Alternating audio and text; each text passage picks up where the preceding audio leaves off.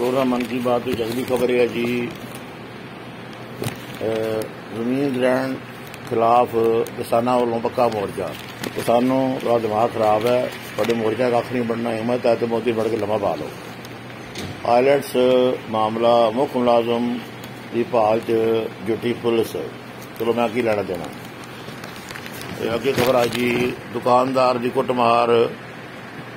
ਚਾਰ ਔਰਤਾਂ ਸਣੇ 16 ਖਿਲਾਫ ਕੇਸ ਦਰਜ।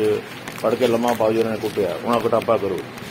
ਸੋਨੀਆ ਤੋਂ ਪੁੱਛ ਗਿੱਛ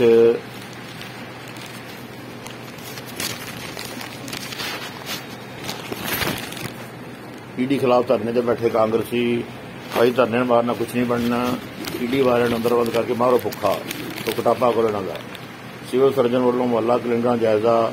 ਚਲੋ, ਅੱਛੀ ਗੱਲ ਹੈ ਅੱਗੇ ਖਬਰ ਹੈ ਜੀ, ਕੱਚੇ ਅਧਿਆਪਕਾਂ ਨੇ ਲੁਧਿਆਣਾ ਦਾ ਡੀਸੀ ਦਫ਼ਤਰ ਘੇਰਿਆ। ਘੇਰਨਾ ਚਾਹੀਦਾ ਦੱਸੋ ਡੀਸੀ ਤੇਰੀ ਤੇਰੀ ਕੀ ਔਕਾਤ ਸਾਨੂੰ ਦਲੀਲ ਕਰਨ ਦੀ।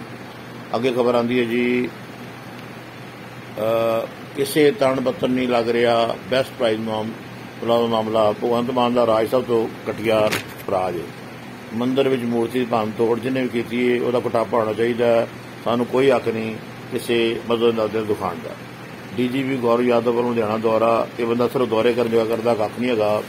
ਮੇਰੇ ਨਾਲ 70000 ਦਾ ਧੋਖਾ ਹੋਇਆ। ਫੋਰਨ ਜੋ ਕਿਸੇ ਨੇ ਫੋਨ ਕੀਤਾ ਸੀ ਤੇ ਮੈਂ ਇਹਨਾਂ ਦਫ਼ਤਰ ਗਿਆ। ਇਸ ਭਾਈ ਨੇ ਜਿਹਦੀ ਕਰਮਦਿਆਂ ਵਿੱਚ ਕੋਈ ਸੁਣਵਾਈ ਨਹੀਂ ਕੀਤੀ। ਇਹ ਟਵਾਲ ਸਾਹਿਬ ਦੇ ਫੋਨ ਦੀ ਇਹਨਾਂ ਪ੍ਰਵਾਹ ਨਹੀਂ ਕੀਤੀ, ਕਿਉਂਕਿ ਬੰਦੇ ਮਦੇ ਘਟੀਆ ਨੇ।